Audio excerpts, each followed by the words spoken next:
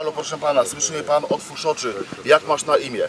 W tej sytuacji już wiemy, że osoba jest nieprzytomna, więc musimy się dowiedzieć co dalej. Czy ta osoba oddycha, czy jest po prostu tylko nieprzytomna. Oczywiście następuje udrożnienie dróg oddechowych. W jaki sposób?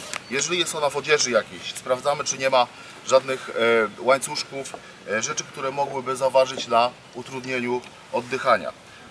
Poprzez zajrzenie w usta sprawdzamy, czy te drogi są niezatkane w żaden sposób.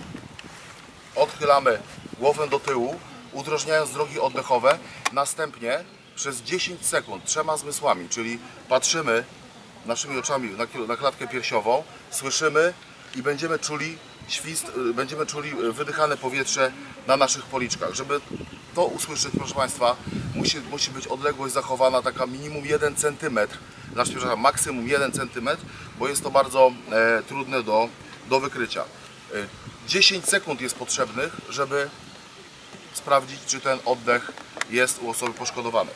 Co następnie, jeżeli jest ktoś po przeszkoleniu i posiada maseczkę taką do y, podawania wdechów, może spróbować podać 5 pierwszych wdechów ratowniczych. Są to y, wdechy kluczowe, bo niejednokrotnie zdarza się, że po podaniu samych tych wdechów osoba wyciągnięta w porę z wody już y, spontaniczny oddech powraca. Po podaniu tych oddechów, oczywiście, żeby to sprawdzić, trzeba po raz kolejny przez 10 sekund z naszymi trzema zmysłami sprawdzić ten oddech.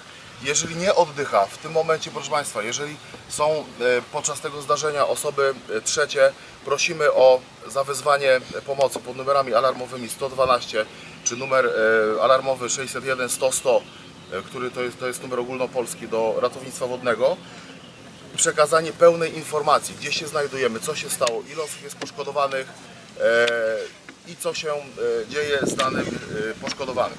W momencie, kiedy już ta e, informacja zostanie przekazana do służb, na środku klatki piersiowej, plotąc sobie dwie dłonie, zaczynamy uciśnięcia na głębokość około 5 cm i uwaga, ciężka praca, około 100, nawet do 120 uciśnięć na minutę, czyli jest to naprawdę wyczerpująca praca dla ratowników.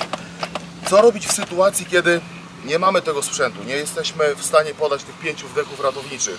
Proszę Państwa, przystępujemy bezpośrednio do uciśnięć e, klatki piersiowej. Sprawdzamy oddech, udrażniamy drogi. Jeżeli osoba nie oddycha, przystępujemy do uciśnięć e, klatki piersiowej. Jeżeli, kiedy zaprzestajemy takiego działania, w momencie, kiedy nasza osoba poszkodowana przekazuje, wykonuje jakieś ruchy, czyli daje oznaki do życia, w momencie, kiedy pojawia się wykwalifikowana służba ratownicza, bądź też my jako sami ratownicy opadamy z sił. Wtedy możemy odstąpić od, od czynności ratowniczych. W momencie, kiedy usłyszycie, że e, oddech wrócił, e, osoba zaczyna wykonywać jakieś ruchy, układamy osobę taką w pozycji bezpiecznej, czyli przekręcamy na, na bok, układamy i nie rzadziej niż raz na minutę wtedy sprawdzamy nadal czynności życiowe, czyli cały czas czuwamy do momentu przyjechania e, wykwa- wykwalifikowanych służb medycznych nad e, oddechem takiej osoby.